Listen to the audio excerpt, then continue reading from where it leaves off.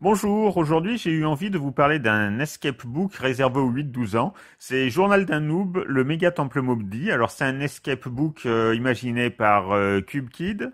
Euh, qui est spécialisé dans pas mal de livres sur Minecraft. On voit tout de suite la couverture que c'est inspiré de Minecraft. Alors cet escape book est pas très épais, hein. il est au format livre de poche, il est très agréable.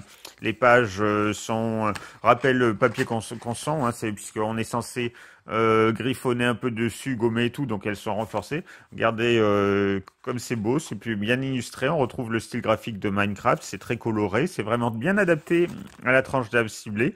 Et même quand on est adulte, franchement, on a envie de feuilleter un livre comme ça, euh, c'est plutôt sympa.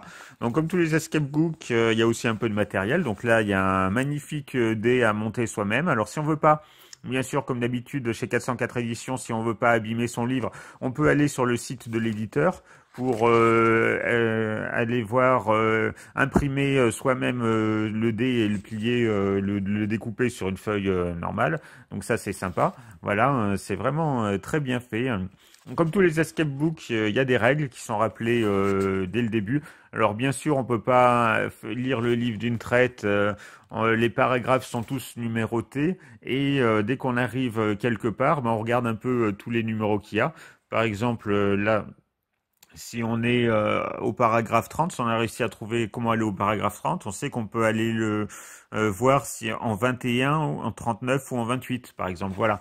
Euh, il y a aussi un inventaire qui peut se compléter au cours de partie, des combinaisons à faire selon les objets qu'on a trouvés, les situations et tout. Donc voilà, c'est plutôt bien fait, c'est très agréable à lire, à regarder. C'est vraiment adapté aux 8-12 ans. Donc bon, si on n'a pas 8-12 ans, c'est pas super compliqué. Si on a 8-12 ans, c'est bien adapté quand même.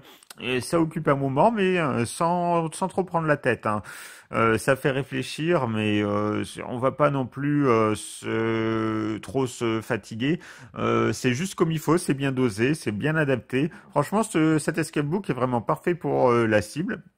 Il n'est pas très cher, hein, 7,95€, c'est à peu près le prix d'un manga, euh, ça dépend. C'est à peu près au même format, un peu, moins de pages, mais c'est tout aussi sympa.